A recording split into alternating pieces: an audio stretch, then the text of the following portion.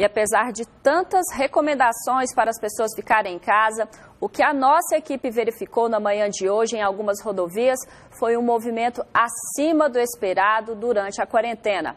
Mas a polícia segue orientando e também fiscalizando o funcionamento do comércio à beira das estradas. Sexta-feira Santa e o movimento nas rodovias goianas está tranquilo, menor que nos outros anos, mas em período de quarentena está bem acima do que deveria. Ainda há uma grande movimentação. Então, assim, mesmo com toda a recomendação da Polícia Militar, do governo do estado de Goiás, a, as pessoas estão circulando. Aqui nós estamos na GO 060, tem um, um, fluxo constante, na GO 070 também está grande. Ontem, em algumas cidades do interior, foi possível observar que tinha um fluxo maior do que comum no dia a dia. Nós estamos na GO 060, saída para Trindade, outros municípios como Iporá e também a região do Vale do Araguaia. Agora são 10 horas e a movimentação que a gente percebe é essa daqui.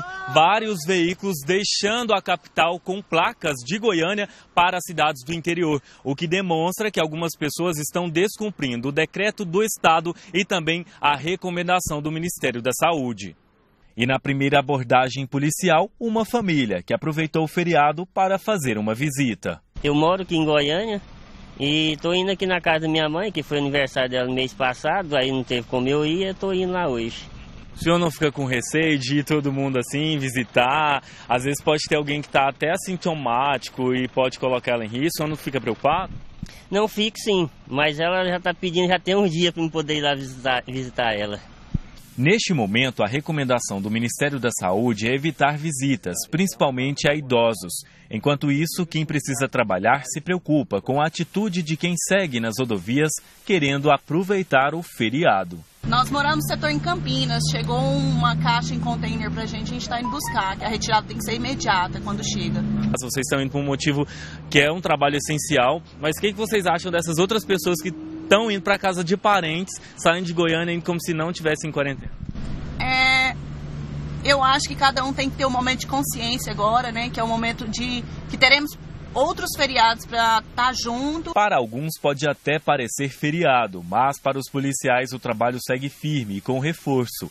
Por dia vão ser aproximadamente 200 policiais em barreiras de todo o estado até o fim do feriado. E o que muda no trabalho do rodoviário nesse momento é que a gente segue a orientação do decreto do governador que orienta as pessoas a ficarem em casa, respeitando a quarentena para evitar a disseminação do, do novo coronavírus, bem como a gente fiscaliza também os, a, o comércio se, que tem as margens das rodovias se estão cumprindo o decreto governamental.